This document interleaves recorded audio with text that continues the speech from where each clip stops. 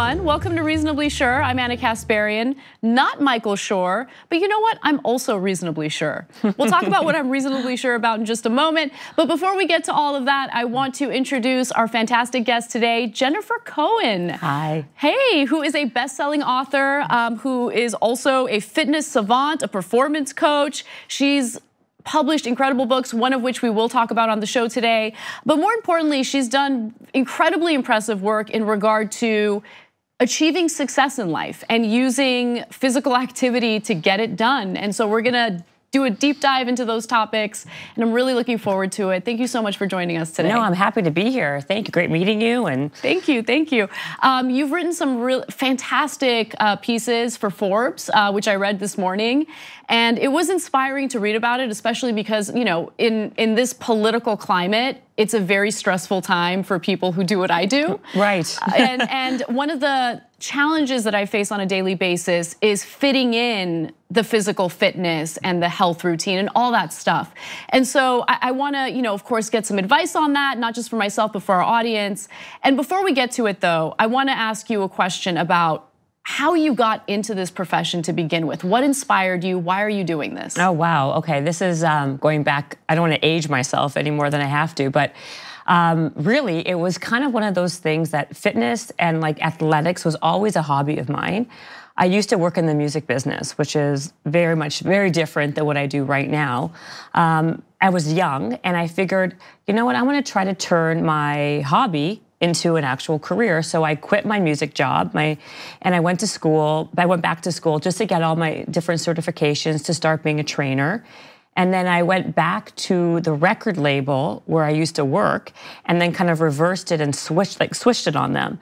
And then instead of basically running marketing, I made myself a vendor for the marketing and became a personal trainer for all the different talent that works on the labels. So like, that was signed to the labels. So then I, because I knew how the money, where the money was allotted. So mm-hmm. I became, like I said before, that people went on tour or did a music video, I would start training them and then it kind of mushroomed into a real business where then after one label i got another label and then three labels. And then i had a bunch of trainers who worked underneath me and it became like a, a legitimate business. Oh i love that. Yeah. i love that. I love hearing the story the stories of entrepreneurs especially female entrepreneurs who are willing to kind of step back from a career they've already established right. to do something else. Did you decide to pursue the health and fitness component of your career because you were getting kind of tired of the marketing business or did you just you love both but you naturally fell into what you're doing now? Right. I think i, I always i always loved music um, and i always loved fitness but i really that was a time when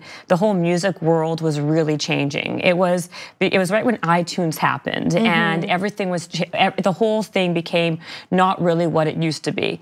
And so i figured it was a good chance and a good opportunity for me to kind of follow my actual dream or follow another area of passion of mine mm-hmm. and try to make it more of something i do day to day day because I was doing it anyway day to day. Uh, so that really was the beginning of it. And I don't like working in an. I'm not a very corporate person. I don't like working in four walls where I'm very contained. Mm-hmm. I like to mm-hmm. kind of have more freedom. And being entrepreneurial and doing my own thing and having my own business was much more my personality. So that's, that's interesting because yeah. that mindset also kind of transferred onto the health and fitness component of your career. Because um, you know one of the things that you talk about is how you don't need a gym membership. You don't need to be in a gym right. to to be healthy, to have a better lifestyle. And so, talk to me a little bit about what professionals can do to fit an exercise routine or whatever it is into their already busy schedules because that's something that I have a hard time grappling with right. on a daily basis. I'm not an executive, right, right, um, but I do have a high stress, time consuming career. And honestly, day to day, I get increasingly frustrated with myself. Like I, it's a failure that yes. I didn't fit the exercise in. Yeah. And it becomes a vicious cycle because that stress leads to more cortisol. Cortisol leads to more, you know, baklava early in the morning. like, so, so that's what? so true. Yeah. What advice can you give to people who are busy? I think that's a that's a great point, and I think that becomes the vicious cycle that a lot of people deal with.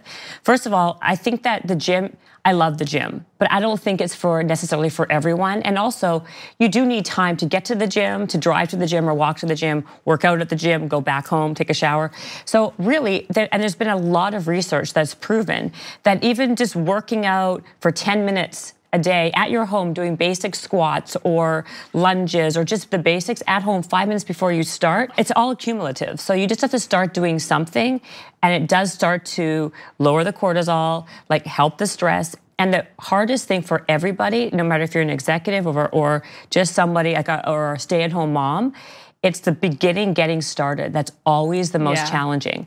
And then once somebody starts, chances are if they do see progress in themselves that's the best motivator to keep on going and then make that five minutes turn into 10 minutes mm-hmm. or 11 minutes but just the beginning is always everyone's hurdle and i think like there's no magic answer it really is just just do it like wake up five minutes earlier and mm-hmm. just do mm-hmm. some basic stuff in, in your room before you go downstairs yeah. And then building on that because uh, not only does it help with the cortisol, of course, but it, it does help with your energy. So if you have those busy days with kids or work or whatever, it does help and increase your energy and productivity. Yeah, and, and you know what? It really does help with energy and productivity. I'll just give a quick anecdotal example. Right.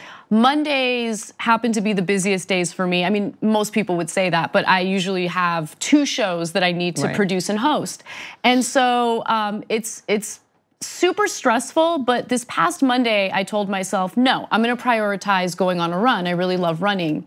And so I did it, and the rest of the day it was smooth like butter. Like right. it was it was such a great day, and I was in a great mood. And when I was confronted with stressful situations, I was able to handle it with better with a better temper, I guess. Yeah.